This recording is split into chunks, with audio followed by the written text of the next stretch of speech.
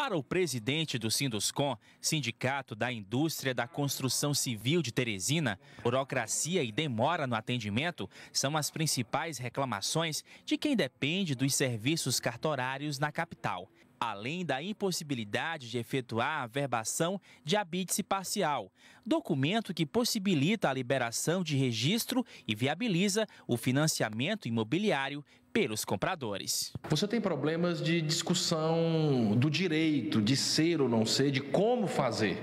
Então chegou a hora de a gente unir os bancos, os clientes, as construtoras e a corregedoria, que não tem muitas vezes assuntos que não tem discussão e o cartório fica levando dificuldades e questionamentos, uma coisa que é pacífica entre todos os entes envolvidos. Reunião com o Corregedor de Justiça do Estado, o desembargador Sebastião Ribeiro Martins, foram apresentadas propostas de alterações do Código de Normas e Procedimentos dos Serviços Notoriais e de Registro do Estado do Piauí, na tentativa de trazer mais agilidade às construtoras e aos consumidores. Num momento como esse, onde o setor está em recessão, a gente tem que mitigar e diminuir os trâmites cartorários e burocráticos para acelerar as possíveis obras que temos.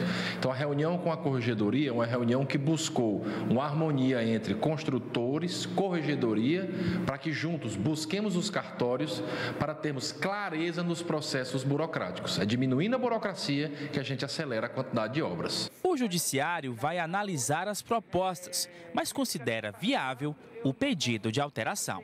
De antemão, pode-se antecipar que a Corregedoria, por meio do desembargador Sebastião, tenha adotado uma postura de facilitar ao máximo possível a atividade dos cartórios para que, ao fim, se tenha uma, um serviço melhor prestado à população usuária dos cartórios no estado do Piauí.